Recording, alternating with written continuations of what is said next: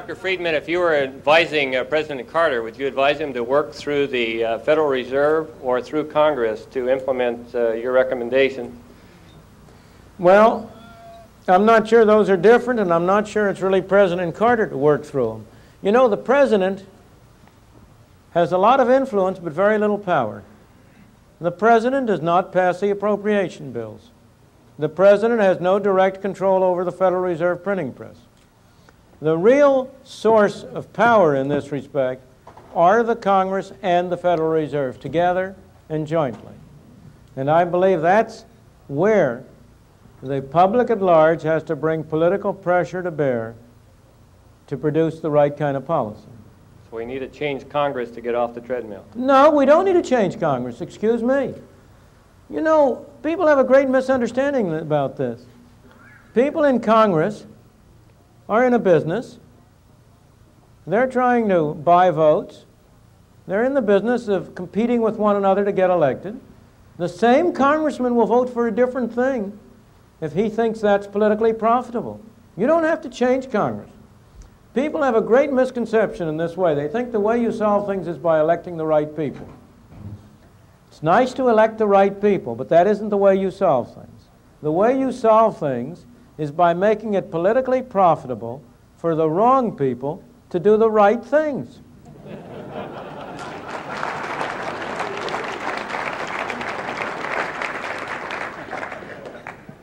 You said rather optimistically, I think, that you have detected a trend wherein the public will accept a slowing down of the rolling of the printing presses. I confess that that trend is invisible to me, and I wondered what evidence of it you have seen. I was really not referring directly to a trend to slow the printing presses, but a more fundamental trend in people's ideas and attitudes toward the role of government.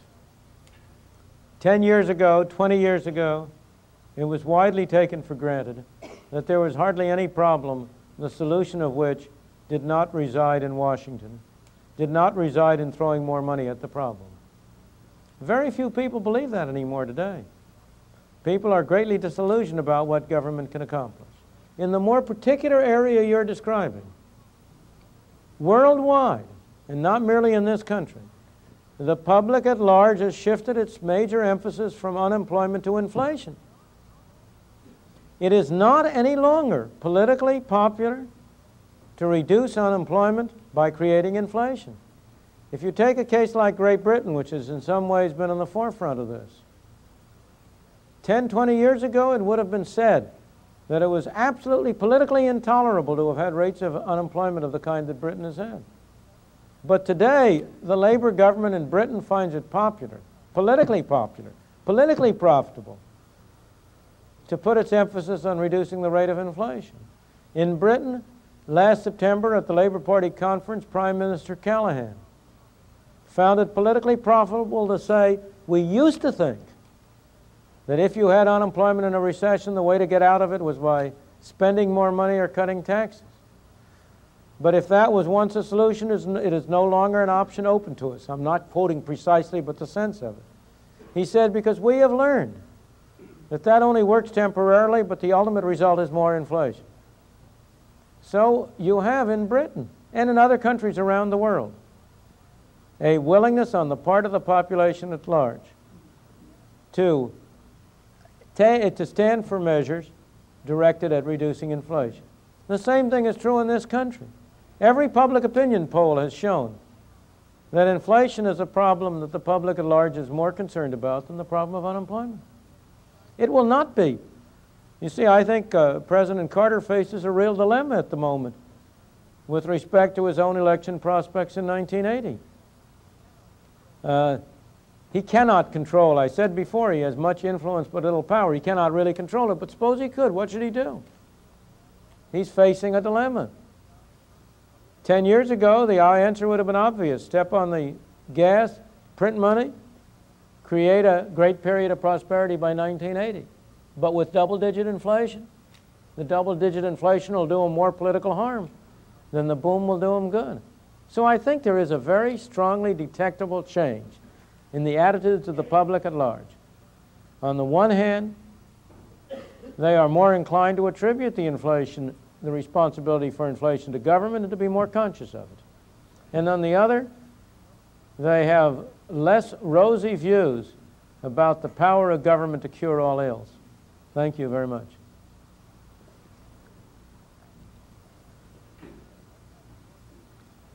Let's have some more people come up here to increase our inventory in process. Professor Friedman, with the federal government's ability and willingness to produce unlimited amounts of money, what are the implications for the concept of a vital local and state government? And the broader question, the implication for the concept of federalism? Well, obviously, one of the trends that has been reducing the viability of local and state government has been a trend toward centralization, a trend toward enhancing the power and the strength of Washington at the expense of the State House and of City Hall. And no doubt, the fact that Washington possesses a printing press and uh, the City Hall and the State House do not has been a factor that has been contributing to that. But again, we come back to the same question that has come up before. Will that continue? Is that necessary? Is it inevitable that the federal government will grow in power? If it is, if it does, then I agree with you. Then we're headed, we would be headed toward a unifi- unified, centralized country. I think one of our great strengths as a country is precisely the federal system, precisely that we have a distribution of power, that we do have states which attract, which attach loyalties to themselves, which have independent power. So I think there is a trend in your direction, but I don't think it necessarily needs to continue or necessarily will continue. As a, as a member of a government agency, do we do ourselves a disservice by uh, quickly pursuing federal grants and funding to meet our needs when often those grants are not our priorities, but just where we can get matching money? Well, the, you have a dilemma there. Given the program, given that there is a federal program, I can't blame you for trying to go get it. And yet, I think it sooner or later the public will wake up to the idea that they really aren't doing themselves any favor by sending a dollar to Washington and getting, getting 80 cents back. That's been, been the experience. What we have had, it's, it's, it's, a, uh, it's, it's a great defect of the centralization. Uh, and it's very hard to understand why people allow themselves to be fooled. But somehow they have the impression that if the money comes from Washington, somebody else is going to pay for it. But of course, it's a two way trip, and there is a discount taken off in Washington as it turns around. I don't know if I can ask one more question, but since I deal with high school students and I'm concerned about economical education in our schools, what is your barometer as you talk to young people? Uh, what is their projection of the business economy? I deal with many people, young people, who go into government thinking that that's where the jobs are, and that concerns me. What is your Well, forecast? at the, again, that is not preordained. We're masters of our own destiny. That depends what we as a people decide. If we as a people decide we want to continue on the path we've been going on, which I hope we won't, but if we do, why then your youngsters are better off going into Washington. They will get better salaries. Do you know, do you people know what the highest income, average income county in the United States is? It's not it's not San Diego County. It's not even Marin County. It's not Westchester. It's not any of those fancy Connecticut counties. It's Fairfax County in Virginia, the bedroom of the Washington civil servants. That's the highest average income county in the country. So that you would be telling the students right if you said to them, if you want to make an income, go to work for Washington. But it's up to us as citizens to make that no longer true. Thank you. Yes, sir. Yes, ma'am. Right. Recently, we've uh, heard that the in- i- inflation currently experienced in this country won't respond to monetary restraint because it's cost push inflation and not demand pull. What uh, re- response would you have to that analysis, if any? It's, a, it's another example of the people who produce the inflation finding this, trying to find scapegoats for their own deficiencies. Of course, the inflation will respond to monetary restraint. There is no such thing as cost push inflation, except in the form of the delayed effect of monetary inflation. If you have a monetary inflation that starts to push up prices, it tends to hit retail and wholesale prices first, the prices you and I pay. It's only later that it works its way through costs. But then costs fall behind prices, and there's a makeup period. And during that period, you have what looks like cost push inflation. But there has never been an inflation in history that didn't respond to monetary restraint. If you look at American experience, it responded to monetary restraint. If you take that roller coaster I was telling you, on each occasion, the slowdown in the rate of inflation was preceded by a slower rate of monetary growth. And you have much more dramatic examples of that. Most dramatic example from American history of how inflation responds to monetary restraint was one that was once dug up by a student of mine when he was writing a dissertation on inflation in the Confederacy during the Civil War. And in the later parts of that war, you know, the South financed the war almost entirely by printing press money. And the rate of inflation during the Civil War in the South, I don't know, got up to something like 4 or 5% a month or more. But at one point in the later part of the war, the Northern Army overran the place in the South where they were printing money. And for two weeks, the printing presses couldn't operate. And lo and behold, within two weeks, the inflation stopped. And you've got many, many examples like that. So that what you can say to people is they're kidding themselves. Yes, sir. I've been, I've been rereading James Buchanan on the monetization of the debt. Yes. And his conclusion that we can't possibly reduce the debt because of the depression effects that would result. In other words, we're stuck with it forever. What's your opinions on that? Well, which debt are you speaking of now? Are you speaking of the funded debt, the bonds? The funded debt. The funded debts, we've been reducing it every year. It's much smaller now in real terms, Yeah, in real terms. divided by prices or divided by income than it was right after World War II. And how have we been reducing the debt? By monetizing it, by paying it off through inflation. Now, when you come to the unfunded debt, there's three trillion or more of uh, obligations under Social Security and other programs. That's a much more difficult task. I think I may say, if you'll pardon me for a digression here for a moment, that those fiscal conservatives who keep their eye on balancing the budget and on the debt are making a great mistake. And in fact, that they have been the handmaidens of the big spenders. What has happened over and over again is that the big spenders get off and start spending money. This produces a deficit. The fiscal conservatives scratch their head and say, My God, we got to do something about that deficit. So they go to work and raise the taxes to pay for the deficit. And as soon as they get the budget balanced again, the big spenders are off for the next lap. And the so called fiscal conservatives that turned out to do the dirty work for the big spenders. As I said before, keep your eye on one thing and one thing only how much government is spending. Because that's the true tax. Every budget is balanced. There is no such thing as an unbalanced federal budget. You're paying for it. If you're not paying for it through it in the, in the form of explicit taxes, you're paying for it indirectly in the form of inflation or in the form of borrowing. The thing you should keep your eye on is what government spends. And the real problem is to hold down government spending as a fraction of our income. And if you do that, you can stop worrying about the debt. I have uh, two very different questions, but first I wonder if you'd comment on an, an assertion with regard to your theory on the political process. It seems to me that the incumbents who disagree with you and with me are one step ahead of us, and they're so carefully insulating themselves in the political process by giving themselves vast uh, perquisites and benefits of incumbency. So we have people voting for their reelection not on the basis of their policies or their issue positions or their votes, but whether or not they're being serviced in their district, which is a vastly different situation than it was years ago. Yeah.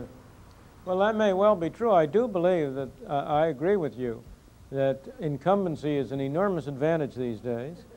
That the drive, of course, for governmental financing of elections is really a drive to strengthen the power of incumbents and make it more difficult for anybody to challenge them. That the election, the what was the bill that was passed about campaign financing, limiting private funds was also a major step toward increasing the advantages of incumbents. But I nonetheless believe that uh, if the public at large feels strongly enough about a subject, Congress will listen and act in accordance with it.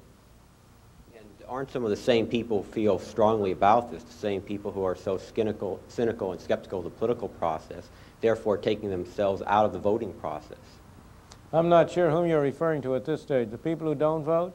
Well, I'm talking about we see more and more people becoming disenchanted who believe strongly in the free market, who are just giving up. You see, no matter who I vote for, the policies continue. And as they take themselves out of the political process, we're left with a proportionally larger well, share of the but there's more than one way to make themselves effective. Uh, I understand your point, and I would say that, I, uh, that the most encouraging move I've seen around is one which started in this state, and that is a move to take the total budget out of the hands of the elected representatives and determine it through a constitutional amendment. That was a Proposition 1 fight that was started here five years ago, unfortunately was defeated. Yeah. It, uh, but I am very much encouraged by the strength which the movement for such amendments around the country and at the federal level is, is, is uh, the strength which it is gaining. As you know, last year Michigan had a similar proposition on its ballot and it was defeated too. It's very interesting to compare the propaganda that was put out in California and Michigan five years apart on the same proposition. It was the same propaganda, financed and fostered by the same groups, primarily the State Education Association, making the same kind of misstatements about the, about the, uh, uh, about the proposition, and in both cases with considerable success. But in both those states and in a considerable number of others, there is a grassroots movement that is growing and that I think we, I think we are going to see in the next four or five years at least a half a dozen states adopt tax limitation or spending limitation amendments of that kind. In addition, on the federal level, the Southern Governors Conference a few years ago had a task force which drew up a federal amendment to limit federal spending. Uh, that task force was headed by, headed by Governor James Edwards of South Carolina. Unless I am mistaken, the Gov- uh, Southern Governors Conference has endorsed that proposal. There are various congressmen uh, and senators who have introduced similar budget, uh, similar budget limitation amendments in Congress. So I think that there is a strong chance that we have a movement underway which will, and which will give people something to vote for that they think will be effective over and beyond voting for particular individuals. Dr. Friedman, part of the uh, twofold cure you suggested tonight would be a reduction of government spending. What areas of government spending would you suggest are most amenable to reduction? Every area. I think that the only way to reduce government spending is across the board. Cut every single uh, appropriation first year by 10%, the next year by 20%, and just keep going. You know, why do you, why do you want to choose? No, the reason I ask that is it seems to me that if higher unemployment is a short-term side effect of your inflation cure, then welfare costs are going to go up as a result. Well, that depends on, you see, the problem you're raising is the following one. Every one of us would like to reform a program. But if you try to achieve a reduction in spending via reform, you won't get it. But if you first achieve a reduction in spending through across the board cuts, that will force you to engage in the kind of reform you're talking about. And I quite agree with you. Uh, I don't think we need to spend more money on welfare. Not at all. But if we had a more sensible welfare system, we would spend less and yet give help where it's really needed. You know, the welfare system today does not help the people who really need it. If you take the total amount of money which the government is now spending on programs labeled as poverty programs to help the poor, and calculate how much that amounts to to each person who is designated as poor, it turns out that if they were getting it, they would be among the rich people in this country. But of course, they aren't getting it. It's going to lots of other people. So I agree with you that a temporary increase in unemployment, as in the process of curing inflation, might very well cause an increase in some kinds of expenditures on the welfare side. But I think that that is not inconsistent with cutting expenditures in general. Also, what is your opinion of consumer protection legislation as it affects economic freedom? Well, most consumer protection legislation is not consumer protection legislation. It's the uh, enacting into the laws of the prejudices of a small group of people who have organized themselves into an effective lobbying group. Is the consumer really being protected by having somebody else decide for him whether he may use saccharin or not? He's not being protected, he's being hurt. You know, the, uh, the most anti consumer measures on the books that have been taken in recent months have been the, the imposition of quotas or their equivalent voluntary restraints on the imports of TV from Japan and of shoes from, I think it was Taiwan. Did you hear any of these consumer protection agencies get up and prote protest about that? Where were they when we really needed them? I think that there's the most effective protection the consumer can get is free competition. If you really want to have a pro-consumer protection move, then you ought, you ought to join yourself with other people in promoting free trade.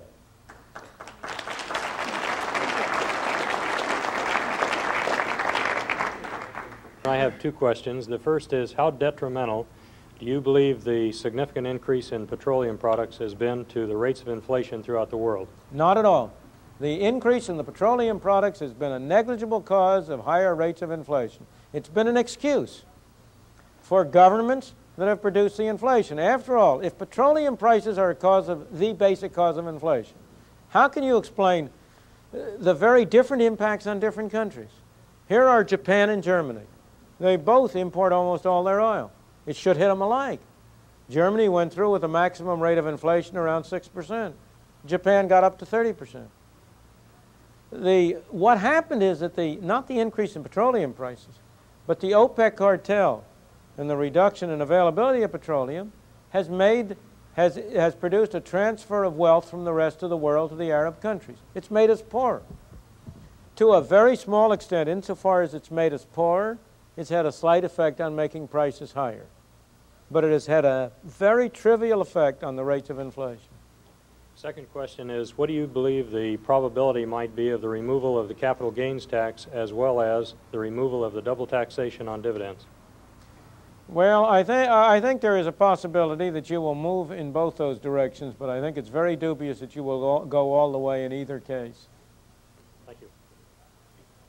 I may say uh, I think the more important point about capital gains is not so much about whether it's removed, but about whether the base for calculating capital gains is indexed. That's the really important question. It would be well worth paying the price of getting rid of the special treatment of capital gains if you could get the base of capital gains indexed. Because the problem with ca capital gains taxation now is you're not taxing real capital gains. You're taxing purely paper gains, which simply reflect inflation. That's part of the whole problem of tax ind indexation. Right. Dr. Friedman, one more question about tax reform. And uh, one more question is right, because we're coming to the end of our time. We've got one more gentleman there, and we'll try to handle both of these if we yes, can. Uh, Congressman Kemp of New York has yes. a proposal uh, to, for a permanent tax cut. I don't know of how much, partially in emulation of President Kennedy in 1963, I believe. The idea being that if you cut taxes in times of a slow down, you'll pick up the economy and perhaps even produce more revenue for the government. Now, given your skepticism about tax reform, is this perhaps one proposal you might endorse? Well, I have long ago concluded that I'm in favor of, of reducing taxes at any time, under any circumstances, for any excuse. that that's the only effective way to, to, to exert pressure on government spending. Congress will spend whatever the tax system will yield, plus a good deal more. But that plus a good deal more is not infinitely elastic. There is some pressure on them when it gets large. And therefore, the only effective way, in my opinion, other than these kinds of constitutional amendments I was talking about before, of bringing down spending is to reduce taxes. So, as I say, I don't go along with Mr. Kemp's reasons, but I'm in favor of cutting taxes. Okay, many thanks. Yes, sir. I'm associated with the banking system, and I do. I won't a, hold that against you. I, I do have a line of credit, and I can go. this relates to M2. I could go in tomorrow and sign a piece of paper. The bank will write out a deposit ticket. Thereby, the money supply is increased. How do you stop that? Oh, no. The bank will only be able to do that if it can find the reserves. And for the banking system as a whole, one bank can always get reserves from another bank. But the great mistake that everybody makes about many different items, it's not only this, is to confuse what's true for the individual with what's true for the society as a whole. The most fascinating thing about economics, the reason, you know, in a way, it's always an interesting thing about economics. It's the most trivial subject in the world. And yet, so many people misunderstand it, and it's so hard for people to understand it. Why? I believe a major reason is because almost every interesting economic proposition has the following characteristic. What's true for the individual is the opposite of what's true for everybody together. It looks to you as if you can decide how many pieces of paper you carry in your pocket, how much cash you have. It looks to you as if you can decide how much deposits you have. It's true, you can. But to everybody together, it's a game of musical chairs. The Federal Reserve determines the total quantity of money, and then it's shared out among the people. Your bank can increase its deposits by attracting reserves away from another bank, but that puts pressure on another bank to contract. The total amount of reserves will set a limit to it. Let me give you some other examples. It looks to you, it looks to the, uh, it looks to you when you go to the store and you see an object offered for sale as if the price is fixed and the amount available to you for you to buy is indefinite. If you want to buy two pairs of shoes at that price, you can buy two pairs. Three pairs, you can buy three pairs. To the whole country together, there are a certain number of pairs of shoes available at the moment. And the price is what's free to move up or down to equate the number of pairs of shoes people want to buy to the pair available. You try this out. On almost every proposition, what's true for the country as a whole is the opposite of what's true for the individual, and that's equally true with the proposition you're presenting. There first, then? What's that? Sort of depends on who gets there yes, first. it does. Yeah. It does, very Thank much you. so. Thank you.